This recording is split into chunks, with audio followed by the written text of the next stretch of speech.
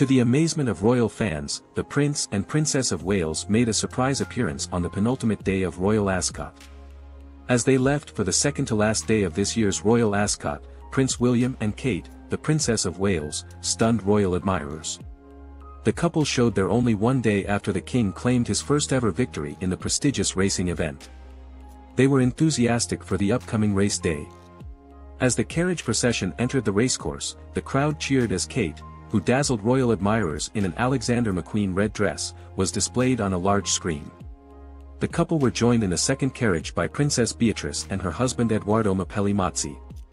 Friday marked another day brimming with members of the royal family, as the king and queen stepped out for their fourth day in a row.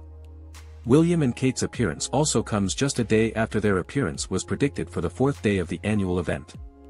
Speaking on the Daily Mail's latest Palace Confidential episode, she added that there has been a fairly decent turnout of royals at this year's event, including appearances from Zara Tindall and Princess Beatrice.